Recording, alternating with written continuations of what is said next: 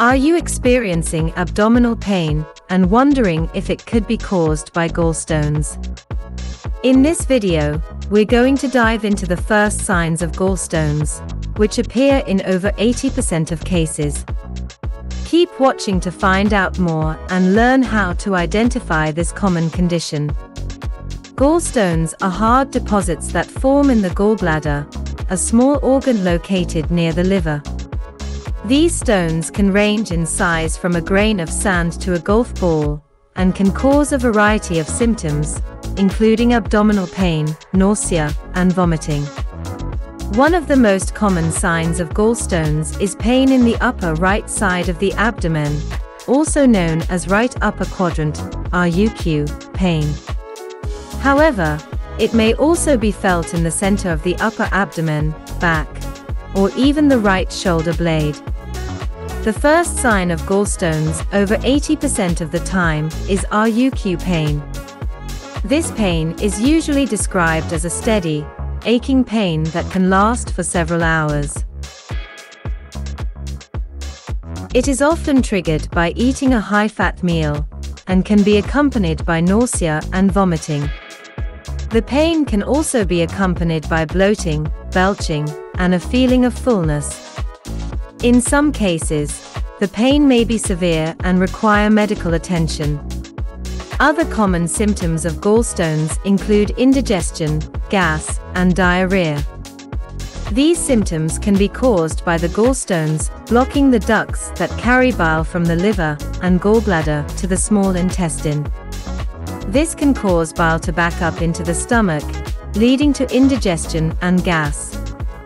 The blockage can also cause diarrhea, as the bile can no longer be absorbed properly in the small intestine. In some cases, gallstones may not cause any symptoms at all. These stones are known as silent stones and are typically discovered during a routine examination or imaging test. If you suspect that you may have gallstones, it is important to seek medical attention right away. Your doctor will be able to perform a physical examination and may order blood tests, imaging tests, or a liver function test to confirm the diagnosis. Treatment for gallstones typically involves removing the stones or the gallbladder. If the stones are small and not causing symptoms, they may not need to be removed.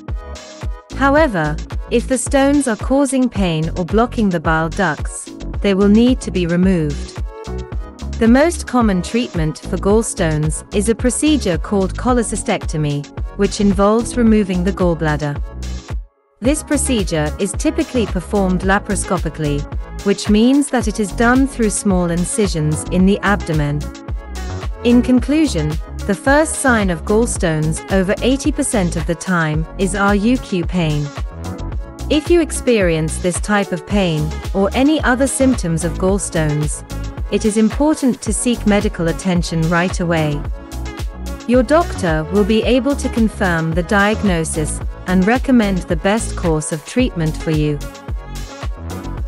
Thanks for watching our video on the first signs of gallstones. Remember, if you're experiencing RUQ pain, or any other symptoms associated with gallstones, it's important to see a healthcare professional for proper diagnosis and treatment. Don't forget to leave a comment below with any questions or thoughts you have on this topic.